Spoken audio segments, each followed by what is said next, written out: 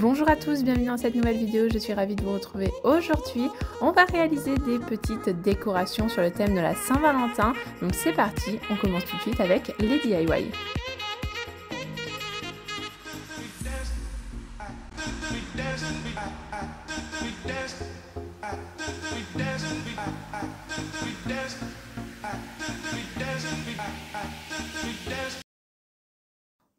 Avec la première affiche. Vous allez avoir besoin d'une feuille en papier cartonné blanc de 21 par 29,7, à peu près une feuille ordinaire.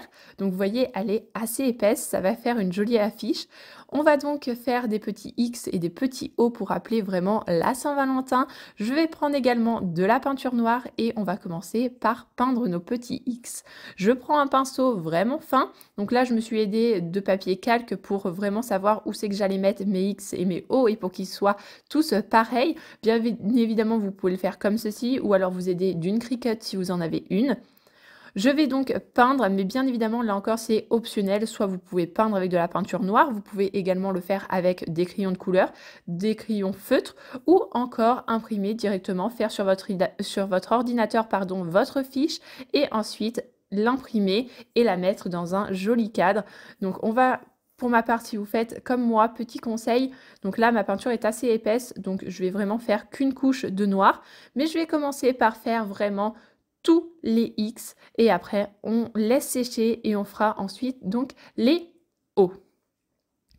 Cela va permettre de vous laisser travailler correctement sans avoir euh, notre main qui passe sur un X qui n'est pas encore assez sec et donc euh, faire des petites traces un petit peu partout. On veut quelque chose d'assez beau, d'assez euh, d'assez joli avec des traits bien définis. Donc c'est pour ça que je vous conseille de faire d'abord donc soit les O, soit les X et ensuite de laisser sécher et de passer à la seconde lettre. Donc je vous mets tout ça en accéléré, ne vous inquiétez pas, vous allez voir magie du montage, tous mes petits X sont faits et sont déjà secs. On va ensuite donc passer au haut comme je vous disais. Là encore, petite magie du montage, vous allez voir, ça va aller assez vite. Donc je vous mets tout ça en musique et on se retrouve une fois que les hauts sont terminés.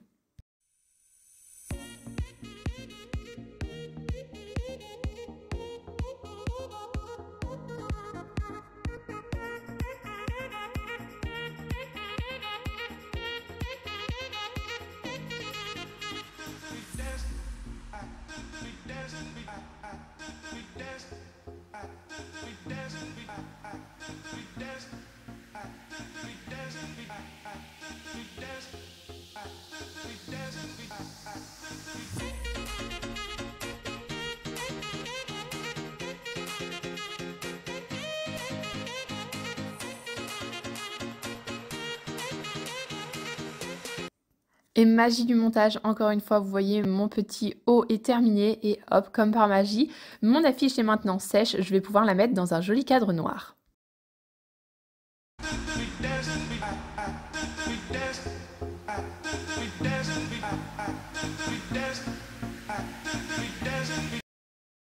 C'est parti pour la deuxième affiche, je me rends sur le site de Canva ou sur l'application, tout dépend lequel vous avez.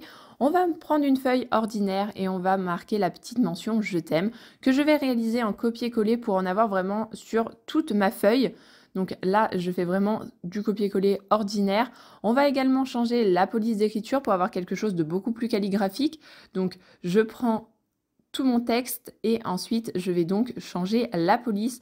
Vous pouvez également, si vous n'avez pas euh, le site Canva ou alors que vous n'avez pas d'imprimante pour imprimer, vous pouvez également marquer toutes ces petites mentions à la main avec une jolie écriture. Personnellement, moi, c'est quelque chose qui était euh, pas simple pour moi. Je ne sais pas écrire aussi bien tout le texte de la même façon.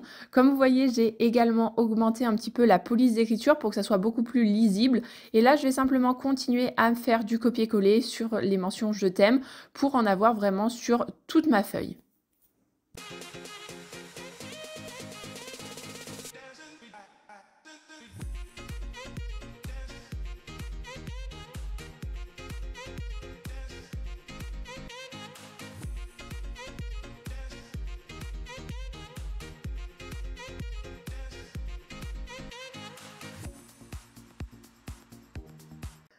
Une fois toute notre petite mention recouverte sur notre feuille, on va redimensionner pour qu'il y ait vraiment cet aspect assez joli. Vous voyez, de euh, je t'aime qui sort du cadre, vraiment très très joli, ce que j'aime beaucoup et ce que je recherche. Donc je vais redimensionner tout ça, augmenter un petit peu la police, etc. Une fois que le résultat me plaît, je vais donc imprimer. Donc là, il s'agit d'une feuille de 21-29-7, donc une feuille ordinaire, et je vais la redimensionner à la taille de mon cadre. Donc il me faut une affiche de 16 par 25. Je vais simplement faire des petits traits et je vais ensuite découper ma feuille. Donc là, je fais des traits, hop, comme je souhaite, donc aux dimensions. J'essaye que ça soit également quelque chose un petit peu qui sorte du cadre, comme je vous disais, que ça soit plus joli, bien évidemment. Hop, je trace mon trait, je fais la même chose dans l'autre sens pour que ça soit de 16 cm.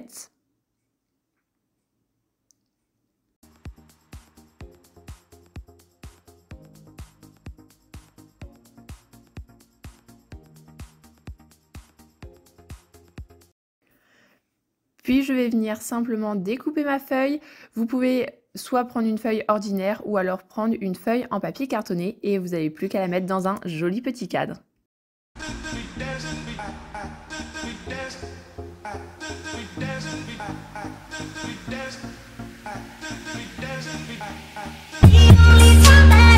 Pour ce troisième DIY, on va réaliser un petit dessous de verre ou alors un dessous de plat comme vous voulez ou simplement une petite décoration. Je vais prendre un petit cœur en papier cartonné ainsi que de cordes. Bien évidemment, tous les produits que j'utilise seront listés dans la barre de description et également avec les tailles pour que vous puissiez tout retrouver plus rapidement et facilement. Je prends mon pistolet à colle chaude et vous voyez, je vais simplement entortiller ma corde comme ceci en forme de cœur. Je vous mets bien évidemment tout ça en accéléré. Vous faites attention bien évidemment à ne pas vous brûler avec le pistolet à colle chaude. Et si vous ne vous sentez pas à l'aise avec le pistolet à colle chaude, n'hésitez pas à demander de l'aide à quelqu'un d'autre. On met bien évidemment jusqu'à temps que ça ne dépasse pas des bords. Quand on arrive un petit peu trop près des bords, vous allez voir, après, on va faire simplement un côté, donc côté par côté. Donc hop, là j'arrive vraiment au maximum et je vais simplement, vous voyez, replier comme ceci la corde sur elle-même, vraiment pour faire une partie du cœur. Une fois que j'arrive au bout, euh, je découpe, je remets de la colle sur l'autre côté et je rattaque avec exactement la même ficelle. Hop, je termine, je fais un petit dernier passage, je colle et ensuite je fais exactement la même chose dessous. Je remets ma, petite corde, hop, je remets comme ceci, je découpe et on va venir faire une finition un peu plus jolie sur les bords. Donc je reprends de la ficelle, de la corde exactement la même et je vais simplement faire un tour tout autour de euh, mon petit cœur pour que ça soit beaucoup plus fini, que ça soit beaucoup plus beau. Là encore, faites bien attention à ne pas vous brûler, je vous le répète. Pour ma part, j'ai choisi le pistolet à colle chaude car je trouve que c'est la meilleure chose pour euh, faire ce genre de, petites décorations, de petits sous-verts, etc. Je trouvais que c'était la, la, méthode la plus simple et la plus facile.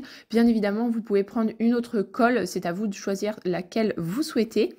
Donc là, je fais tout le contour de mon cœur pour avoir une jolie finition comme je vous le disais. Et ensuite, on va laisser sécher. Vous pouvez bien évidemment mettre un petit peu de vernis alimentaire dessus pour euh, avoir quelque chose que vous pouvez poser par exemple un verre que si jamais il y a de l'eau qui, tombe, du café, etc., que ça soit vraiment euh, protégé et que vous n'ayez plus qu'à passer un petit coup d'éponge et euh, c'est propre. Donc n'hésitez pas à passer du vernis par-dessus pour que ça soit un petit peu plus fini. Donc voilà notre petit sous-verre terminé. Bien évidemment, moi j'ai fait une taille assez grande, mais vous pouvez faire une taille plus petite et faire différentes tailles également. We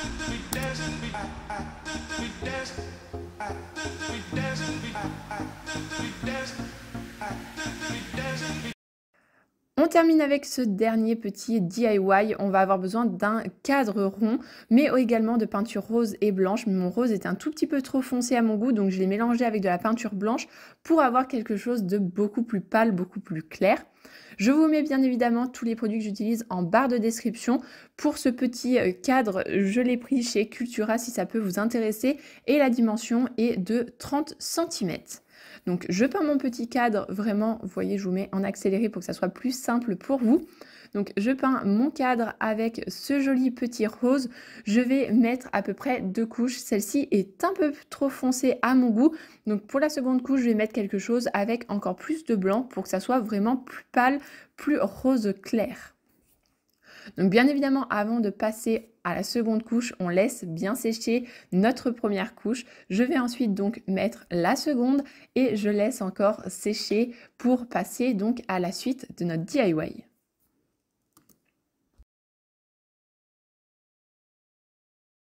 Voilà le résultat une fois nos deux couches de peinture faites et sèches. Vous voyez pas vraiment la différence à l'écran, mais je peux vous assurer que le rose est beaucoup plus clair. J'ai ensuite fait en parallèle un joli petit love avec ma Cricut que j'ai découpé. Je vais simplement repasser les traits, les lignes pour ensuite venir avec de la peinture dorée repasser donc cette petite mention love. Vous pouvez bien évidemment faire carton comme moi, mais ensuite le coller et ne pas peindre, c'est que moi je n'avais pas de papier euh, de couleur or, donc c'est pour cela que j'ai euh, repassé les lignes et que bien évidemment j'ai peint avec de la couleur. Je prends donc ma petite peinture et avec un pinceau, je vais repasser à l'intérieur de mes lettres ce joli petit love. Je vous mets tout ça en accéléré. Vous allez voir, je vais couper à un moment parce que c'est assez simple. Vous n'avez qu'à peindre. Je pense que tout le monde est capable de faire cette petite activité. Donc voilà le résultat. Je vais laisser sécher. Donc là, vous avez la version qui est encore euh, humide. Et ensuite, vous allez le voir, là, c'est mon petit rond qui est sec. Vous voyez, je voulais vraiment cet aspect vraiment brillant comme ceci que j'aime beaucoup. Et voilà, cette vidéo sur le thème de la Saint-Valentin est maintenant terminée. J'espère que ces petites DIY décorations vous auront plu. N'hésitez pas à me dire en commentaire ce que vous en avez pensé. Mais n'hésitez pas également à liker et à vous abonner à la chaîne si ce n'est toujours pas fait. Je vous fais d'énormes bisous et je vous dis à très vite.